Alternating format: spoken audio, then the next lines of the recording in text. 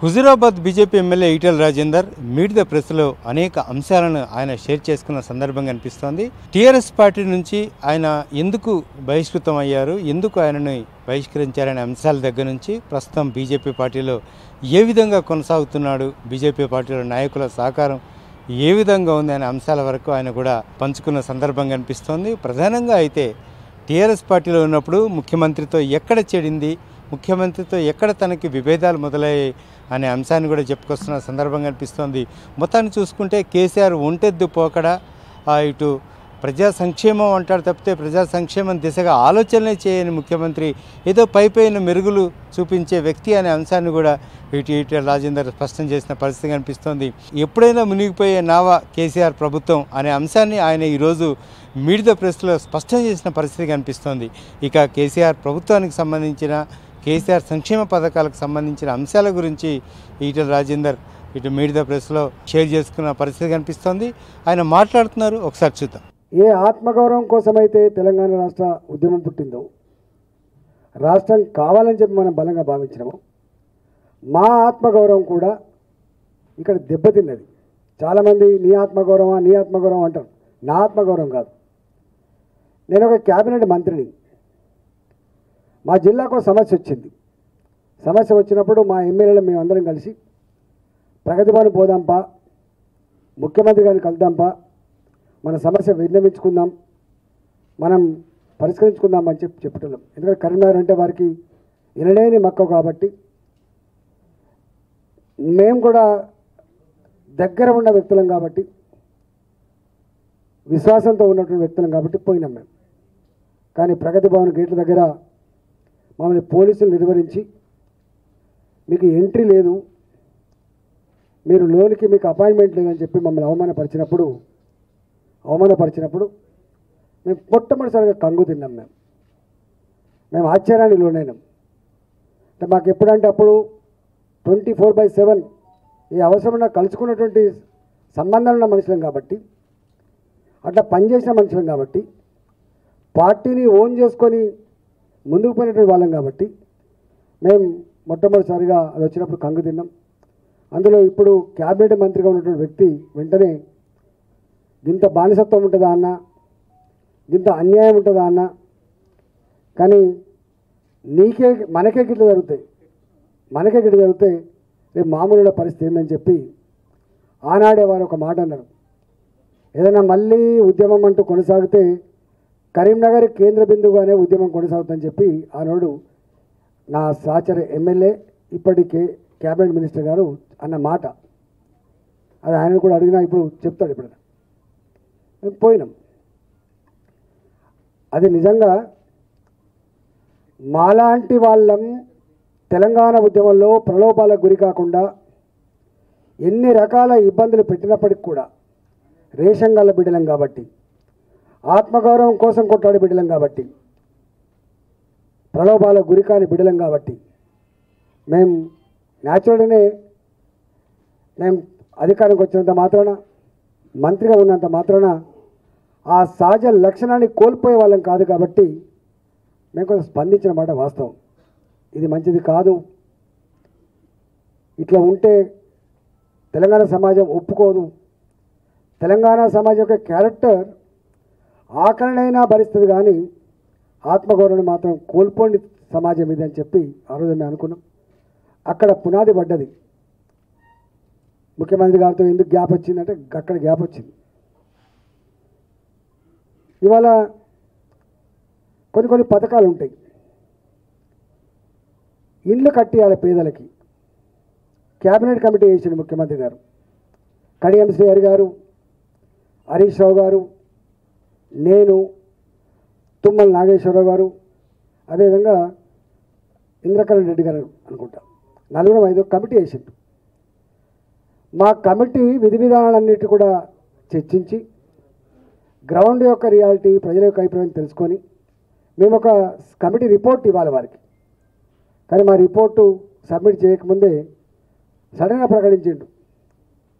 ఇప్పటి నుంచే గవర్నమెంట్ ఇల్లు కట్టించేది కాలనీల రూపంలో కట్టిస్తే తప్ప వాళ్ళ వాళ్ళ జాగాలలో వాళ్ళ వాళ్ళ వాడకట్టులలో ఇల్లు శాంక్షన్ చేయమని చెప్పి ఒక పాలసీ ప్రకటించింది మేము అన్నాం మరి క్యాబినెట్ కమిటీ వేసింది కనీసం మా కమిటీ రిపోర్ట్ మీరు తీసుకొని ఉంటే మాది ఆమోదిస్తారా లేదా అది మీ ఇష్టం. అంటే ఏ నిర్ణయమైనా అంతిమంగా క్యాబినెట్ అనుకున్నా కూడా ముఖ్యమంత్రి గారి ఆలోచనని అమలు అయ్యేటువంటి ఆస్కారం ఉంటుంది తప్ప వేరే రకంగా ఉండదు కాబట్టి అట్లా ఆ ఇష్యూలో వారు నిర్ణయం చేయడం జరిగింది. అంటే క్యాబినెట్ మంత్రులు అంటే ఎలాంటి భావన ఉంటుందో అది సజీవ సాక్ష్యం. ఇవాళ రైతు బంధు రైతు బంధు ఇవాళ మనం ప్రకటించిండ్రు. నేను గొప్పగా ఇస్తున్నా ప్రపంచంలో ఏ దేశం ఏ రాష్ట్రం ఈ దేశంలో రైతుల గురించి పట్టించుకున్న పాపన పోలేదని చెప్పి ఏదో చెప్తుండో ఇవాళ రైతు బంధు ఇస్తున్నాడు. మేమన్నాం ఎప్పుడు కూడా ఈ దేశంలో వెల్ఫేర్ యాక్టివిటీ ప్రజలకు సహాయ సహకారం అందించే పద్ధతి పేదవాళ్ళకు ఇస్తారు తప్ప ఉన్న వాళ్ళకి ఇచ్చేటువంటి ఆస్కారం ఉండదు. అందుకే తెల్ల రేషన్ కార్డు ఇస్తాం.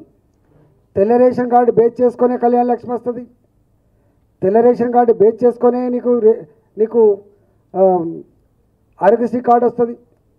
తెల్ల రేషన్ కార్డు బేస్ చేసుకునే ఏదైనా సహకారం అంత తప్ప గవర్నమెంట్ది తెల్ల రేషన్ కార్డు లేకుండా రా వచ్చే ఆస్కారం లేదు. కానీ ఇక్కడ రైతు బంధులో వందల ఎకరాల భూస్వాములు కల్టివేషన్ చేయని గుట్టలకు కంచెలకు కూడా డబ్బులు ఇస్తున్నప్పుడు మాలాంటి వాళ్ళని అడిగినాం మేము. ఇది మంచిది కాదు.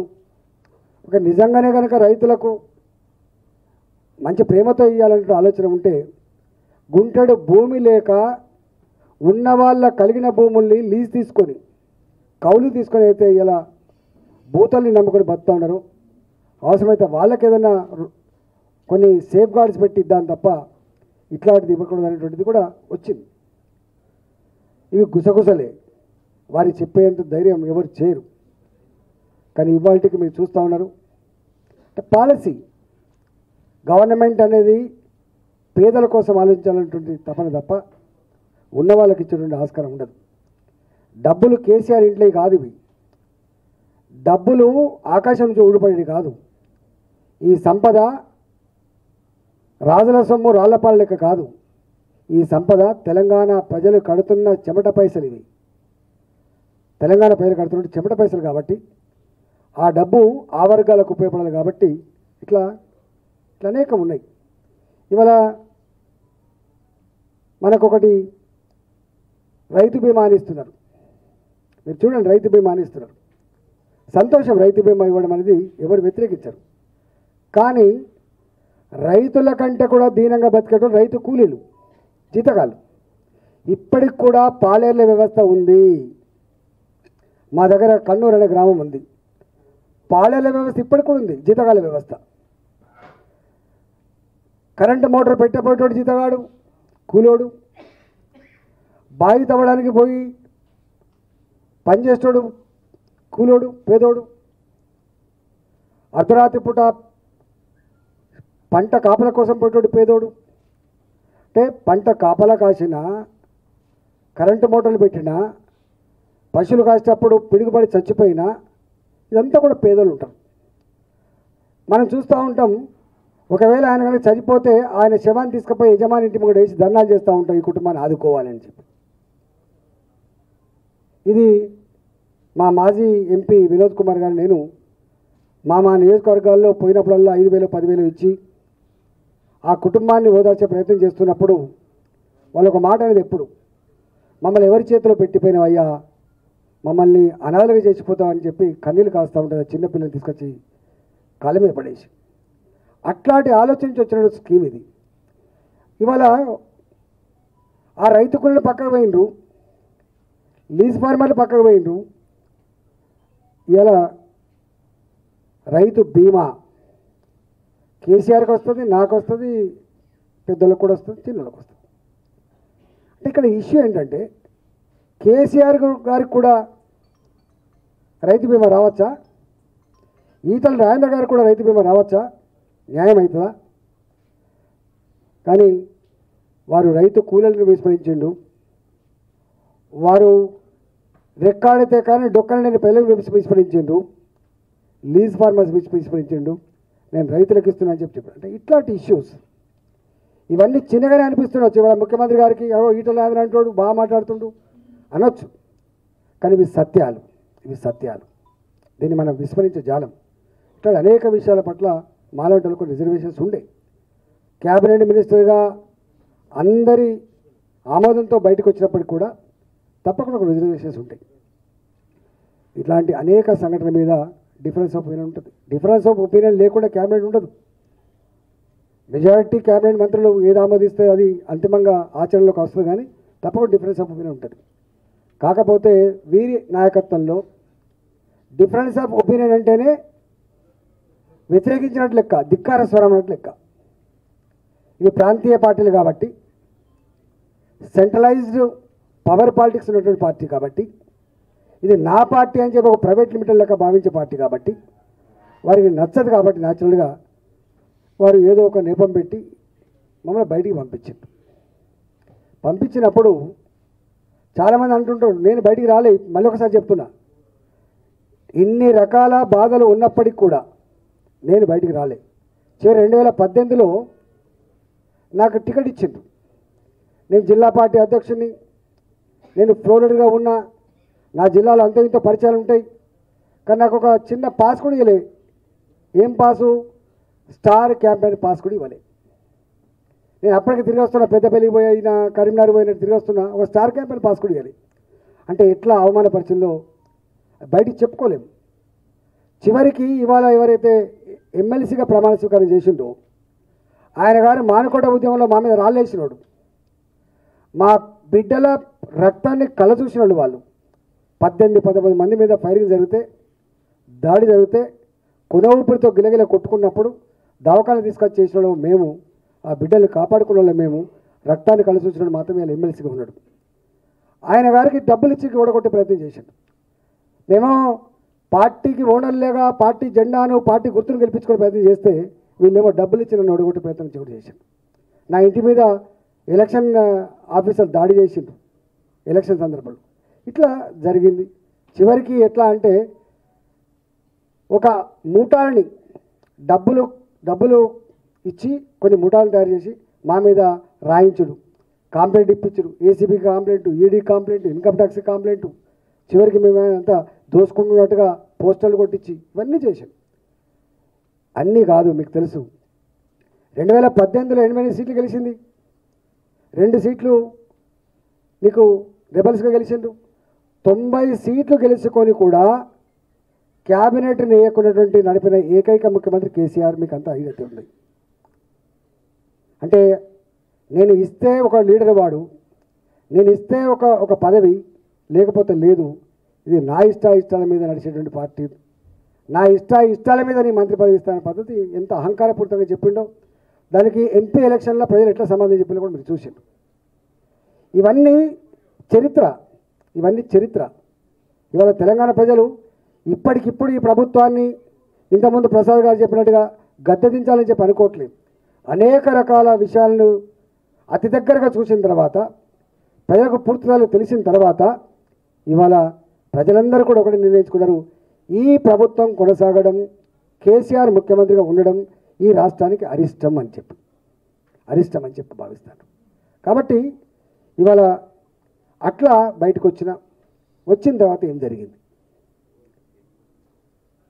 నేను రాజీనామా కూడా చేయలే వాస్తవంగా. ఎమ్మెల్యే రాజీనామా చేయలే నేను.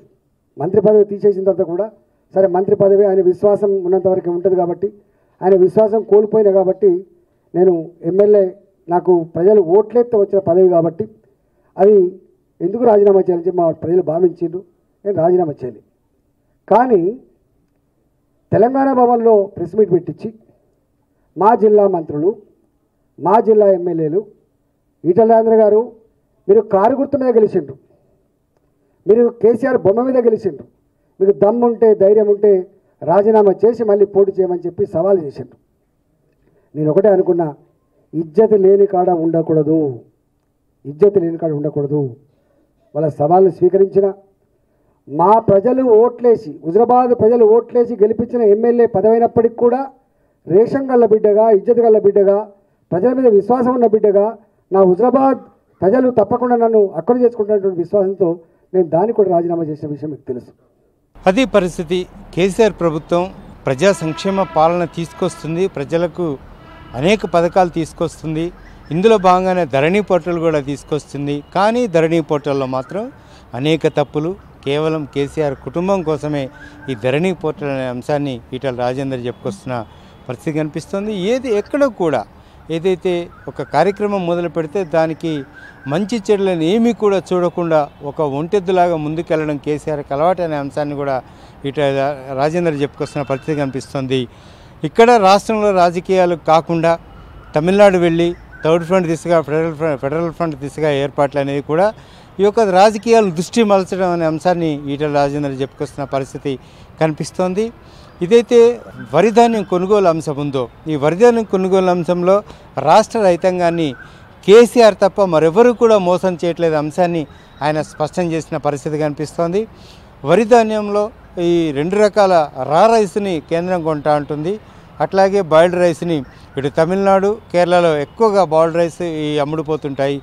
అక్కడికి ఎందుకు అమ్మాలని చూడట్లేదు అనే అంశాన్ని కూడా కే ఇటు రాజేందర్ కేసీఆర్ని సూటిగా ప్రశ్నించిన సందర్భం కనిపిస్తోంది ఈ పరిస్థితులన్నీ కూడా మరుగునబెట్టి కేవలం వరిధాన్యం కొనుగోలు విషయంలో కేంద్ర ప్రభుత్వమైన నెపం మోపి తప్పించుకునే ప్రయత్నం చేస్తున్న అంశాన్ని కూడా ఈటల రాజేందర్ ఈరోజు స్పష్టం చేసిన పరిస్థితి కనిపిస్తోంది అనేక అంశాల్లో ప్రభుత్వానికి వ్యతిరేకంగానే ఆయన అభిప్రాయాలు వ్యక్తం చేసిన పరిస్థితి కనిపిస్తోంది కెమెరా పర్సన్ రాజాతో హరికృష్ణ వన్ తెలుగు హైదరాబాద్.